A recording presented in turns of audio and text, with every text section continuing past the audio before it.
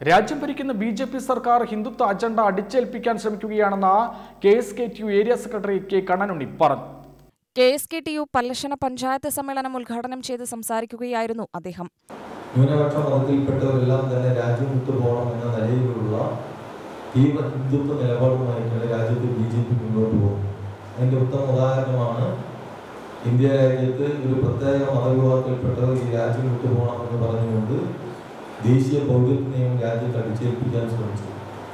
അതോടൊപ്പം തന്നെ India സ്വതന്ത്രമാകുമ്പോൾ India ഇന്ത്യയും പാകിസ്ഥാനുമായി വിഭജിക്കപ്പെടുമ്പോൾ ഇന്ത്യയുടെ ജമ്മു കാശ്മീർ പ്രത്യേക പദവി നൽകിക്കൊണ്ട് ജമ്മു കാശ്മീരിലെ ജനത ഏത് പക്ഷത്ത് നിലയുറപ്പിക്കണമെന്ന് ചോദിച്ചപ്പോൾ മതേതര ഇന്ത്യയോടൊപ്പം ഞങ്ങൾ ചേർന്ന് നിൽക്കാനാണ് ജമ്മു കാശ്മീരിലെ ജനതയുടെ മനസ്സെന്ന് തിരിച്ചറിഞ്ഞുകൊണ്ട് ജമ്മു കാശ്മീരിന് പ്രത്യേക പദവി നൽകിക്കൊണ്ടാണ് ജമ്മു കാശ്മീർ ഇന്ത്യയുടെ അവിഭാജ്യ ഘടകമായി മാറിയത് എന്നാൽ നരേന്ദ്രമോദിയുടെ രണ്ടാം ഘട്ട ഭരണമെടുത്ത് പരിശോധിക്കുമ്പോൾ ഇന്ന് ജമ്മു കാശ്മീരിനെ ചിഹ്ന ഭിന്നമാക്കി ജമ്മു എന്നും ലഡാക്ക് എന്നും പേര് വെട്ടിമുറിക്കപ്പെടുന്ന നിലയിലേക്കും അവിടെ പൊതുപ്രവർത്തനം നേതൃത്വം കൊടുക്കുന്ന രാഷ്ട്രീയ പാർട്ടിയുടെ നേതാക്കളൊക്കെ തന്നെ ഇന്ന് വീട്ടു തടങ്കലിലേക്ക് അടയ്ക്കപ്പെടുന്ന പോകും union panchayat committee president V M Krishnan അധ്യക്ഷനായി ശശികല അനുശോചന പ്രമേയവും ടി എ കൃഷ്ണൻകുട്ടി റിപ്പോർട്ടും സി വിജയൻ സംഘടനാ റിപ്പോർട്ടും അവതരിപ്പിച്ചു.